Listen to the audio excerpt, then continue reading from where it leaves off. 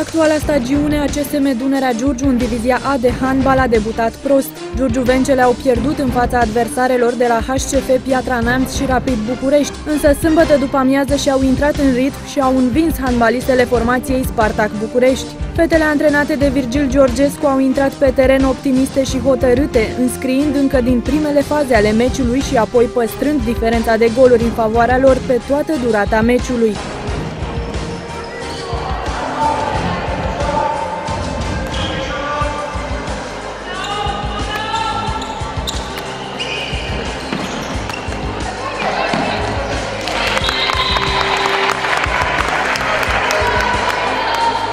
La pauză scorul a fost de 19 la 13, iar la finalul meciului de 33 la 22, o diferență confortabilă care le dă speranțe handbalistelor giurgiuvence în întrecerile viitoare. A fost uh, un meci pe care fetele și l-au făcut ușor, au ascultat, totuși a trebuit să le sturnesc după margine, tinereța se, se vede în continuare, sperăm ca după această victorie să se descătușeze și să urmeze și alte victorii.